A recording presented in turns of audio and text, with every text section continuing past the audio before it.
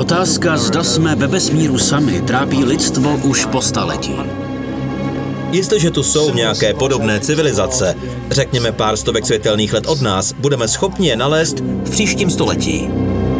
Otázky, které fascinují lidstvo odedávna. Kde ve vesmíru by se mohl nacházet další život a jak by mohl vypadat? Mimozemský život.